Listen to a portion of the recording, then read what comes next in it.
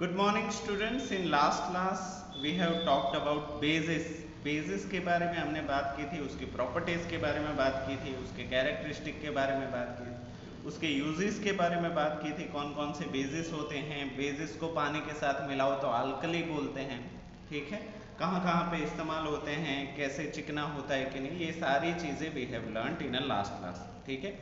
So today we are going to learn about neutralisation neutralisation क्या है? जब भी आप एसिड और बेस को मिला दो तो पानी और सॉल्ट बन जाता है, जिसको हम बोलते हैं न्यूट्रलाइजेशन न्यूट्रलाइजेशन का मतलब है दूसरी भाषा में कि एसिड और बेस की पावर को खत्म कर देना. एसिड और बेस की जो ताकत है, उसको खत्म कर देने को ही बोलते हैं न्यूट्रलाइजेशन न्यूट्रल ना पॉजिटिव ना नेगेटिव मैथ्स में हम पढ़ते हैं ना पॉजिटिव इंटीजर्स नेगेटिव इंटीजर्स तो अगर ज़ीरो जो है, उसको न्यूट्रल इंटीजर बोला जाता है, जैसे कि हमने डिस्कस किया था, है कि नहीं? ठीक है। तो उसी की तरह, इसको हम क्या कर रहे हैं? ज़ीरो बना रहे हैं। क्या कर रहे हैं? ज़ीरो बना रहे हैं। तो एक चीज़ आपको यहाँ पे याद रखनी है कि whenever you mix acid and base जब भी आप एसिड और बेस को मिक्स करते हो, मिलाते हो, तब आपको सॉल्ट मिलेगा। वो कोई भी सॉल्ट खाने वाला सॉल्ट हो, ऐसा ज़रूरी नहीं है। Any type of salt can be form and plus it will release water उसके साथ साथ पानी भी निकलेगा। मतलब जो भी आपके पास होगा ना that is a salt water ठीक है? So now without wasting any time let us start neutralization we have learn that when an acid reacts with a base हमने ये सीखा है कि जब भी एसिड बेस के साथ रिएक्ट करता है या बेस एसिड के साथ रिएक्ट करता है it forms salt and water वो नमक और पानी बनाता है। ठीक है? यहाँ पे नमक खाने वाला नमक नहीं है so don't mistaken this word salt are of many types बहुत ही टाइप के सॉल्ट्स होते हैं। ठीक है? और हर सॉल्ट खाने वाला सॉल्ट नहीं होता। ठीक है? Such a reaction is known as a neutralization reaction जब भी एसिड और बेस को मिला और पानी और नमक बनता है तो इसी रिएक्शन को हम न्यूट्रलाइजेशन रिएक्शन बोलते हैं। Heat evolve during this process plus इसके साथ साथ थोड़ी सी गर्मी का लेन देन भी होता है। दैट मीन्स कि अगर आप न्यूट्रलाइजेशन प्रोसेस करते हो तो हो सकता है वो जो जग है, वो जो कांच का बीकर है in which you are doing the reaction, that might get heated or might get cooled. हो सकता है कि वो बीकर थोड़ा सा गर्म हो जाए, बहुत ज़्यादा गर्म हो जाए, थोड़ा सा ठंडा हो जाए, बहुत ज़्यादा ठंडा हो जाए। ठीक है? दोनों चांसेस है बिकॉज़ इट इवॉल्व्स हीट इसके अंदर हीट का, गर्मी का लेन देन होता है। जैसे कि हमने फोर्थ चैप्टर में हीट पढ़ा था। ठीक है? सो सिंपल रिएक्शन इसका क्या है कि if you are adding acid plus base acid और बेस को मिला देते हो तो वो बनेगा। It will converted to salt plus water नमक और पानी बनेगा। तो चलो इसको एक रिएक्शन के साथ भी देख लेते हैं। Suppose you do have a hydrochloric acid you do have a hydrochloric acid which is known as HCl that is acid ठीक है? And sodium hydroxide which is a base क्या है? बेस है। तो एसिड और बेस तो पानी बनना है, ठीक है? वाटर विल बी फॉर्म तो यहाँ पे ना हमें H को ढूंढना है। तो यहाँ पे देखो, एक H आपको दिख रहा है यहाँ पे, ठीक है? यहाँ पे दूसरा H हो गया। तो H2 तो हमें मिल गया। बाद में यहाँ पे देखो, O इज़ ऑल्सो देर है कि नहीं? O इज़ ऑल्सो देर तो H दो को निकाल दो और एक O को निकाल दो। तो एच H2O तो हमारे पास मिल गया, ठीक है? अभी बचा क्या, उसको ध्यान से देखो। आप देखोगे कि हमारे पास यहाँ पे Na बच गया है और यहाँ पे Cl बच गया है। ठीक है? तो अभी आप बोलोगे, सर, पहले किसको लिखें? तो आपको पहले मेटल को लिखना है। अभी Na और Cl में से मेटल कौन सा है? सोडियम मेटल है। ठीक है? अभी ये सारे एलिमेंट्स ना स्कूल आओगे, तब मैं आपको याद करवाऊँगा और वो एक बार याद हो गए तो आपको तो ये सारी चीज़ें बच्चों का खेल लगेगी। ठीक है? तो देखो एन ए पहले लिखा and C L will be afterwards so it is N A C L sodium chloride है कि नहीं? तो इट इज़ अ सॉल्ट और ये सॉल्ट खाने वाला सॉल्ट है। जिसको आप सब्ज़ी में डालते हो, दाल में डालते हो ना, ये वो नमक है। दैट इज़ सोडियम क्लोराइड और एक सॉल्ट होता है जिसको हमको खा सकते हैं विच इज़ के सी एल एन ए की जगह पे के जिसको हम बोलते हैं potassium chloride. What is it potassium chloride. उसको हम बोलते हैं सिंधव नमक। क्या बोलते हैं? सिंधव नमक। ठीक है? वो भी नमक हम खा सकते हैं और वो ज़्यादा न्यूट्रिशियस भी होता है। ओके सो ये फॉर्मेशन आपको याद रखनी है। हो सके तो दो बार लिख लो ताकि आपको प्रॉब्लम ना हो। याद करने। चलो। टाइप्स ऑफ़ सॉल्ट फॉर्म्ड कौन कौन से टाइप के सॉल्ट्स बन सकते हैं? ठीक है। टाइप्स ऑफ़ सॉल्ट फॉर्म क्या हर बार एक ही तरीके का नमक बनेगा या अलग अलग बनेगा? वो हम किस तरीके से डिफाइन कर सकते हैं? हमें कैसे पता चलेगा ये नमक खाने वाला है या ये नमक खाने वाला नहीं है? It is good for health it is not good for health is it poisonous और नॉट हमें कैसे पता चलेगा? That we are going to know depending on the strength of acid and base taking part in the neutralization reaction different salts are form किस तरीके का acid और किस ताकत का एसिड हम इस्तेमाल करते हैं, उसके ऊपर डिपेंड करता है कि नमक किस तरीके का बनेगा। समझ रहे हो? मतलब ताकतवर एसिड ले रहे हो। ताकतवर एसिड का पीएच क्या होगा? Nearer to one nearer to zero एक से नज़दीक वाले सारे एसिड पावरफुल एसिड है। स्ट्रॉन्ग एसिड है ठीक है? और सात से नज़दीक वाले सिक्स हो गया सिक्स पॉइंट फाइव हो गया दैट आर वीक एसिड्स उन सभी को हम क्या बोलेंगे? कमज़ोर एसिड उसी तरीके से स्ट्रॉन्ग बेस किसको बोलेंगे?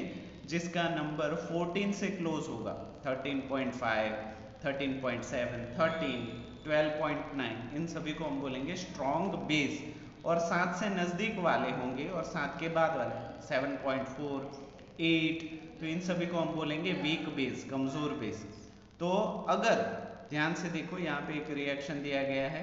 If you are taking strong acid मतलब जिसकी पीएच वैल्यू एक से नज़दीक हो, और वीक बेस लेते हो, जिसकी पीएच सात से आठ या नौ के बीच में हो, ठीक है? तो ऐसे में एसिडिक सॉल्ट बनेगा. क्यों? क्योंकि पावरफुल कौन है? एसिड पावरफुल है और बेस वीक है. तो यहाँ पे जो नमक होगा वो एसिडिक नमक होगा। मतलब उस नमक को खाओगे तो आपकी जबान जल जाएगी, ठीक है?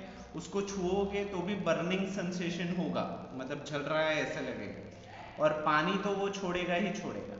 समझ में आया? तो देखो स्ट्रॉन्ग एसिड वीक बेस तो स्ट्रॉन्ग सॉल्ट या फिर एसिडिक सॉल्ट समझ में आया? जो मज़बूत है वही अपना पावर सॉल्ट को देगा। जो वीक है, वो तो खुद ही वीक है, वो क्या पावर देगा? समझ में आया? अच्छा इससे उल्टा सोचो कि स्ट्रॉन्ग बेस वीक एसिड या फिर ऐसे ऐसे लिखो वीक एसिड स्ट्रॉन्ग बेस तो कौन सा सॉल्ट होगा? बेसिक सॉल्ट होगा, क्योंकि स्ट्रॉन्ग कौन है? बेस है। और वाटर तो छोड़ेगा ही छोड़ेगा। समझ में आया? अभी नेक्स्ट कंडीशन ले लो। Strong acid strong base acid भी स्ट्रॉन्ग है बेस भी स्ट्रॉन्ग है। तो अभी जो सॉल्ट बनेगा ना, वो न्यूट्रल हो जाएगा। समझ में आया? वो जो सॉल्ट है, वो न्यूट्रल है। ना ही वो एसिडिक होगा, ना ही वो बेस होगा। क्योंकि मम्मी पापा दोनों स्ट्रॉन्ग है ना। एसिड भी स्ट्रॉन्ग बेस भी स्ट्रॉन्ग तो that will be neutral salt and water उसी तरीके से weak acid weak base so again neutral salt plus water क्योंकि जो नमक बनेगा, वो वीक वीक में से न्यूट्रल ही बना पाएगा। Plus ten minus ten zero but plus eleven minus two that will be plus nine समझ में आ रहा है? मैथ्स के साथ कंपेयर करें तो? यस तो इसका एग्ज़ाम्पल भी देख लेते हैं, जिसमें एसिड स्ट्रॉन्ग हो और बेस वीक हो। तो यहाँ पे देखो। Hydrochloric acid is a strong acid we know and ammonium hydroxide NH4OH is weak तो यहाँ पे देखो कुछ भी नहीं करना है। हाइड्रोक्साइड और हाइड्रोक्लोरिक ठीक है? हाइड्रो हाइड्रो तो ये हाइड्रो हाइड्रो ना अपनी दोस्ती कर लेंगे और पानी बना लेंगे। हाइड्रो हाइड्रो H2O ठीक है? और ये जो एमोनियम है ना, वो बचे कुचे से दोस्ती कर देगा। कौन है? क्लोरीन तो यहाँ पे क्या बन गया? एमोनियम क्लोराइड समझ में आ गया? हाँ ठीक है, चलो। तो ये हमारा एक एग्ज़ाम्पल हो गया। आगे देखते हैं। Okay next weak acid strong base weak acid ले लिया आपने, कमज़ोर एसिड और स्ट्रॉन्ग बेस ले लिया। तो यहाँ पे क्या बन जाएगा? बेसिक सॉल्ट बन जाएगा बेस वाला, ठीक है? और पानी तो रिलीज़ होना ही होना है। इसका भी एक एग्जांपल लेना है तो क्या लेंगे? Which is a weak acid तो acetic acid is a weak acid ठीक है? And strong base sodium hydroxide is a strong base ठीक है? तो यहाँ पे हाइड्रोक्साइड और एसिटिक एसिड दोनों मिल जाएँगे। हाइड्रो तो निकल जाएगा और ये जो एसिटिक है, वो सोडियम एसिटेट बन जाएगा। दिख रहा है? देखो एसिटेट और सोडियम मिक्स हो रहे हैं सोडियम एसिटेट और वो हाइड्रो हाइड्रो से पानी बन गया। समझ में आया? ठीक है। Next strong acid and strong base दोनों ताकतवर है या दोनों कमज़ोर है? दोनों ही केस में क्या बनेगा? न्यूट्रल साल्ट उसको तो ना एसिडिक बोला जाएगा, ना बेस बोला जाएगा, ठीक है? वो न्यूट्रल है, उसको हम खा सकते हैं, छू सकते हैं।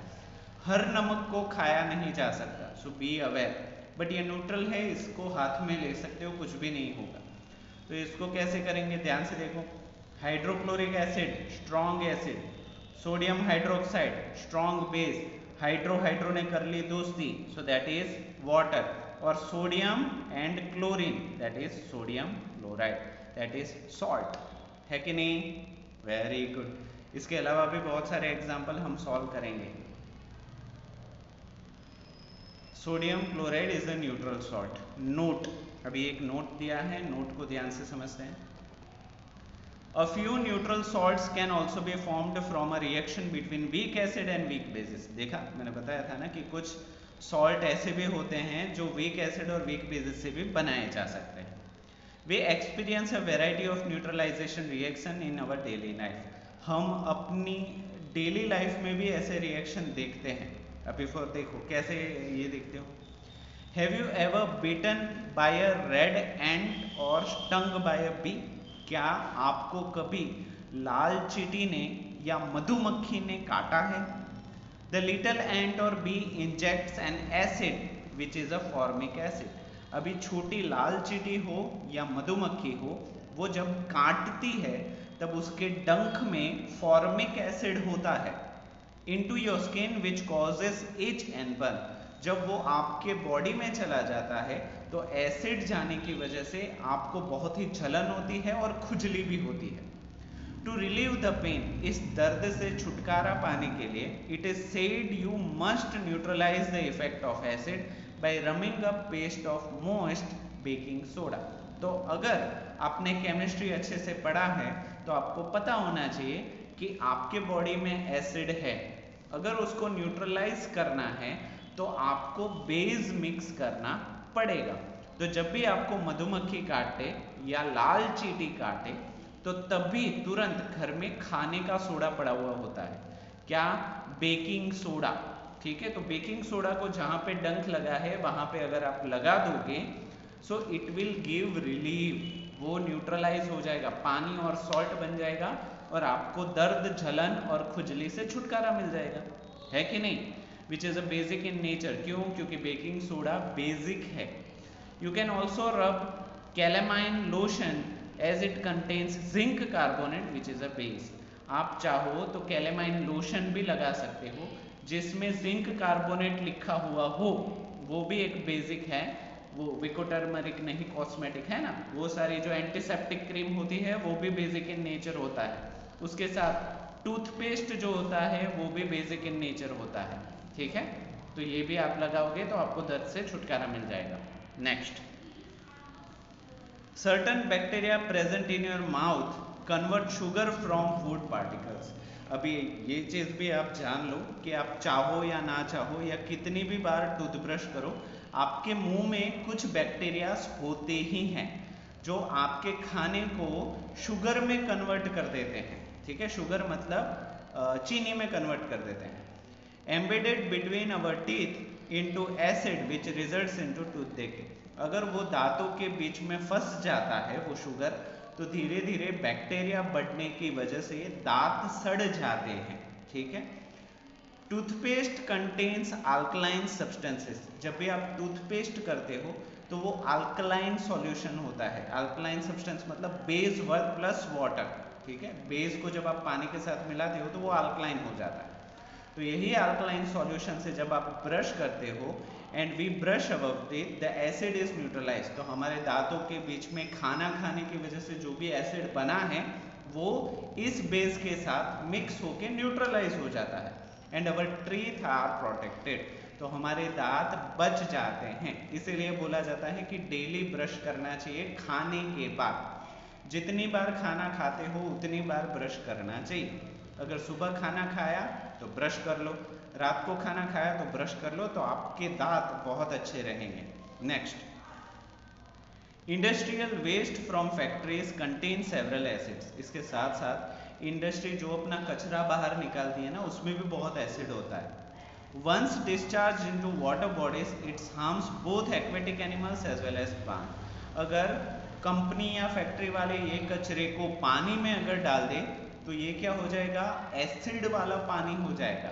जिससे क्या होगा, मछलियाँ भी मर जाएगी और वो पानी जिन पौधों को मिलता है, वो पौधे भी मर जाएँगे। It also result in soil pollution इसके साथ साथ पानी ज़मीन के अंदर भी जाता है तो ज़मीन भी खराब हो जाती है। Therefore industrial waste must be treated with bases इसी वजह से इंडस्ट्री का जो भी कचरा हो, अगर वो एसिडिक हो तो उसको बेस से न्यूट्रलाइज करना होता है और अगर वो बेसिक कचरा हो तो उसको एसिड से न्यूट्रलाइज करना पड़ता है। फॉर एग्ज़ाम्पल एसिडिक है तो कैल्शियम हाइड्रोक्साइड से और बेस है तो एसिड से। To neutralize them before disposing them off उसको बाहर फेंकने से पहले न्यूट्रलाइज करना बहुत ही ज़रूरी है। ठीक है? तो एक्सपेरिमेंट हम करेंगे स्कूल में जब आपकी लैब स्टार्ट हो जाएगी। ओके चेक पोस्ट देख लेते हैं। Fill in the blanks indicators have the ability to tell us if a compound is acidic और basic the most popular and universally use indicator is universally हर लोग इस्तेमाल करते हैं। उसको हम क्या बोलते हैं? Universal indicator so first fill in blank is universal indicator pH of water is it is 7.4 नहीं इट इज़ 7 ठीक है? 7 लिखो. pH ऑफ़ ब्लड इज़ 7.4 अगर आपको एडिशनल याद रखना है. Third the dash of China rose making a good indicator अभी चाइना रोज जो होता है, उसके कौन सा हिस्सा अच्छा इंडिकेटर है? उसके पैलेट्स ठीक है? उसके पत्ते. So petals of China rose make good indicator B give three examples of natural indicators natural indicator के तीन एग्ज़ाम्पल दीजिए। ये मैं दिखाऊँगा नहीं अभी दो पेज पहले ही हमने देखा है, ठीक है? तो पत्ते घुमाओ, ठीक है? चलो मैं दिखा देता हूँ, क्योंकि साइंस की टेक्स्ट बुक आप सभी के पास नहीं है। Give three examples of natural indicator natural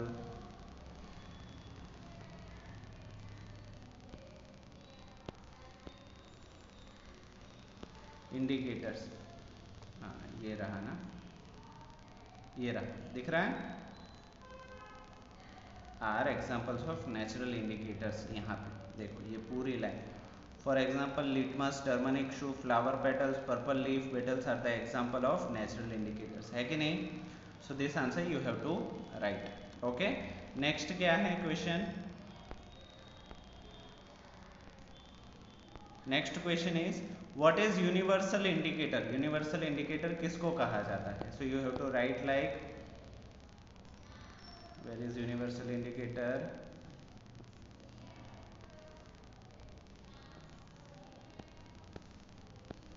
indicators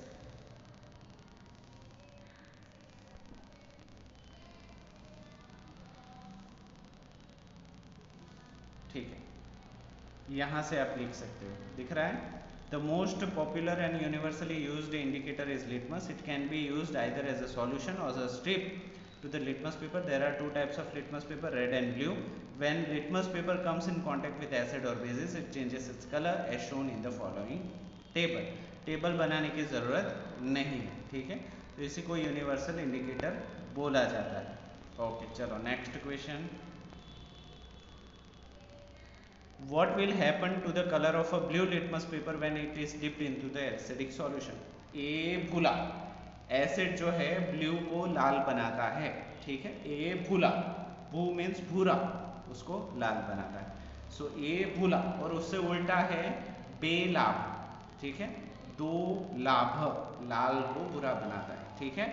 तो ये भी इजी है। It will convert acid into base ठीक है?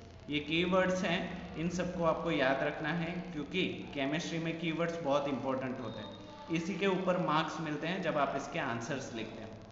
So first is acid a compound which dissolving in water and releases hydrogen ions तो ये सारे कीवर्ड्स आप दो बार पढ़ लेना ताकि आपको ये याद रहे। ओवरव्यू देख लेते हैं और उसके बाद एक्सरसाइज सॉल्यूशन करेंगे कल। आज वरना बहुत ही बढ़ जाएगा। सो so, हमने इस चैप्टर में क्या क्या चीज़ें सीखी? So an acid is a substance with a sour taste acid जो होता है वो खट्टे टेस्ट का होता है।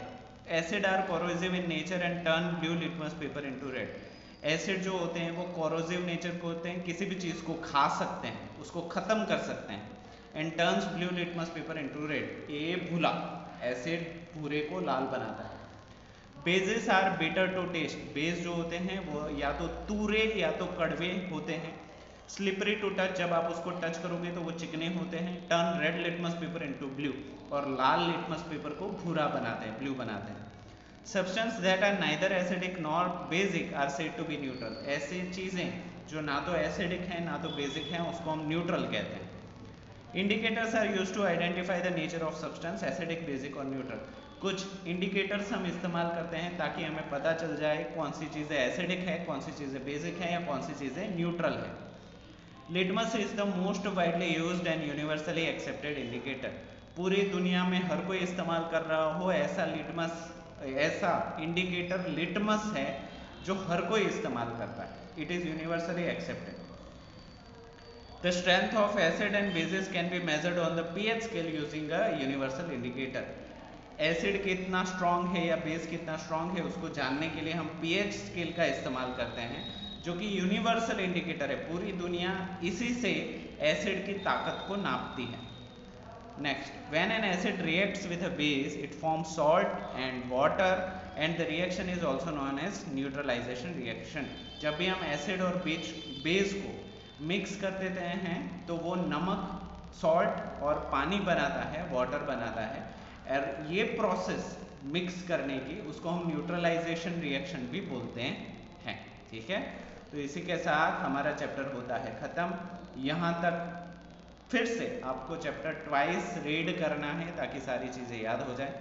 In next class we are to going to cover and solve and explain the whole exercise पूरी एक्सरसाइज को हम अगली क्लास में सॉल्व करेंगे। ठीक है?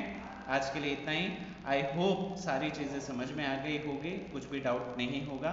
और, बस वीडियो को पूरा देखने के लिए आप सभी बच्चों का थैंक यू सो मच